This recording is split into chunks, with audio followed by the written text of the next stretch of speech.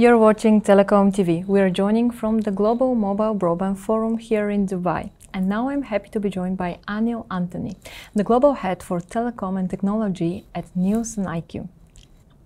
So, Anil, what did you think of the keynotes today and which topic did you find the most impressive one? Yeah, I think the keynote today was really, there was a commonality across all the keynotes that we heard.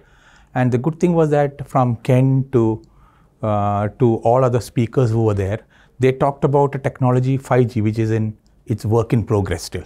So it has still to realize its full potential. And we got a few years, maybe around five years to actually do that before 6G becomes a reality. So I think uh, there are many use cases which are now coming up. I mean, which was not envisaged earlier. So maybe initially we were thinking more about, you know, B2C, consumers, but now a lot of things are all about B2B.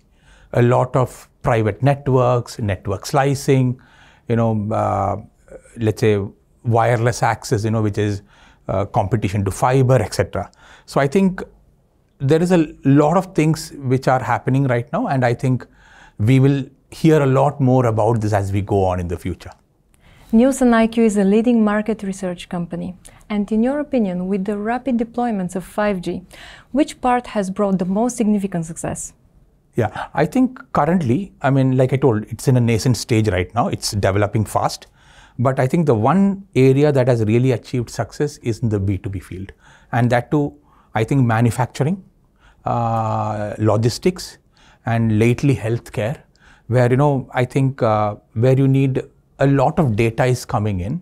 Uh, so you need ability of a network to handle that volume of data with lower latency and also high scalability. So I think these are the ones that I think manufacturing, logistics, healthcare, etc., have need these kind of uh, uh, metrics to be really, really good. And these are the industries which have actually taken up 5G um, rapidly right now. Mm -hmm. And what is the unique value for 5G fixed wireless access uh, that brings to the market?